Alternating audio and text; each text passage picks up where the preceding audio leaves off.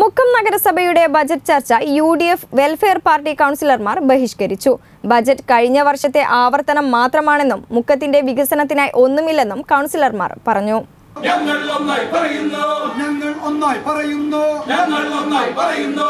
ഇല്ല ബജറ്റിൽ ഒന്നും തന്നെ. ഇല്ല ബജറ്റിൽ ഒന്നും തന്നെ. മുക്കം നന്നെ ചുരുങ്ങുന്നു. മുക്കം ചുരുങ്ങുന്നു. കൃഷിക്ക് കാർഷിക മേഖല നെൽകൃഷിക്ക് കാർഷിക മേഖല നെൽകൃഷിക്ക് മുക്കം നഗരസഭയിൽ അവതരിപ്പിച്ച ബജറ്റ് പരിപൂർണമായിട്ടും അബദ്ധ പഞ്ചാംഗങ്ങളായിരുന്നു എന്നാണ് സൂചിപ്പിക്കാനുള്ളത്.